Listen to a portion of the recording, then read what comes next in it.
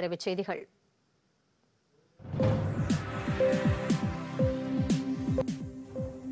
பெண்கள் அதிக அளவில் உயர்கல்வியை கற்க வேண்டும் என்பதற்காக தமிழக அரசு சிறப்பு திட்டங்களை செயல்படுத்தி வருவதாக மாநில உயர்கல்வித்துறை அமைச்சர் பொன்முடி தெரிவித்துள்ளார். விழுப்புரத்தில் அரசு மகளிர் மேல்நிலைப் பள்ளியில் ஐம்பத்தி நான்கு லட்சம் ரூபாய் மதிப்பீட்டில் கட்டப்பட்ட ஆய்வக கட்டிடத்தை அவர் திறந்து வைத்தார். அப்போது பேசிய அவர் மருத்துவம் பொறியியல் கலை கல்லூரி உட்பட உயர்கல்வியிலும் ஏழரை சதவீதம் இடஒதுக்கீடு வழங்கப்படுவதாக தெரிவித்தார். பின்னர் அறிஞர் அண்ணா கலைக்கல்லூரியில் ஐம்பது லட்சம் ரூபாய் மதிப்பீட்டில் கட்டப்பட்டுள்ள மூன்று புதிய வகுப்பறைகளையும் அமைச்சர் திறந்து வைத்தார். இந்த நிகழ்ச்சியில் நாடாளுமன்ற மற்றும் சட்டமன்ற உறுப்பினர்கள் கலந்து கொண்டனர்.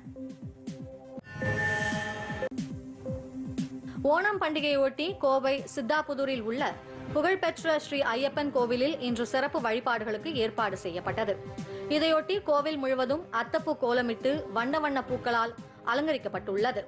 பாரம்பரிய செண்டை மேளம் முழங்க கோவிலில் சிறப்பு பூஜைகள் நடைபெற்று வருகின்றன. கோவையில் வசிக்கும் கேரள மக்கள் தங்கள் குடும்பத்தினருடன் அதிகாலை முதலே நீண்ட வரிசையில் காத்திருந்து சுவாமி தரிசனம் செய்து வருகின்றனர்.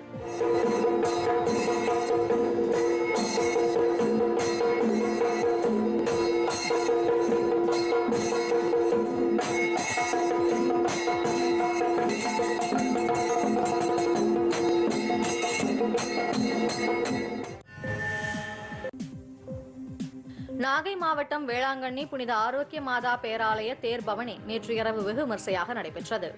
கடந்த மாதம் இருபத்தி ஒன்பதாம் தேதி கொடியேற்றத்துடன் தேவாலய திருவிழா தொடங்கியது. முக்கிய நிகழ்வான தேர்பவனியை ஒட்டி தேவாலயத்தில் சிறப்பு திருப்பலி நடைபெற்றது. பின்னர் கொட்டும் மழையிலும் இன்னிசை வாத்தியங்கள் முழங்க நடைபெற்ற திருத்தேர் பவனியில் ஏராளமான பக்தர்கள் கலந்து கொண்டனர்.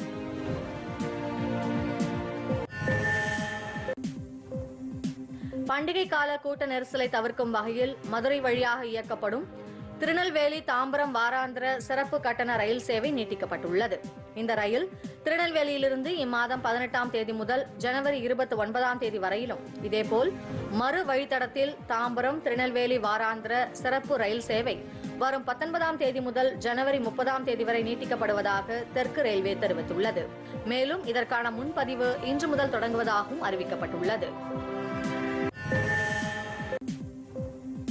திருப்பத்தூர் மாவட்ட ஆட்சியர் அலுவலக கூட்டரங்கில் ஜல்சக்தி அபியான் திட்டத்தின் கீழ் செயல்படுத்தப்பட்டு வரும் பணிகளை அம்மாவட்டத்திற்கான மத்திய குழு கண்காணிப்பு அலுவலரும் சிவில் விமான போக்குவரத்து அமைச்சகத்தின் இயக்குநருமான தினேஷ்குமார் ராணா தலைமையில் நடைபெற்றது. பின்னர் நாட்டாம்பள்ளி ஒன்றியம் பந்தாரப்பள்ளி ஏரிக்கரையில் இத்திட்டத்தின் கீழ் நடைபெற்று வரும் பணிகளை பார்வையிட்டு மரக்கன்றுகளை நட்டார். இதேபோல் பலக்கல் பாவையில் அமிர்த சரோவர் திட்டத்தின் கீழ் ஆறு லட்சம் ரூபாய் மதிப்பீட்டில் நடைபெற்று வரும் அமுத குளம் அமைக்கும் பணிகளையும் அவர் ஆய்வு செய்தார். இந்நிகழ்ச்சியில் மாவட்ட ஆட்சியர் அமர்குஷ்வாஹா மற்றும் திட்ட அதிகாரிகள் பலர் கலந்து கொண்டனர்.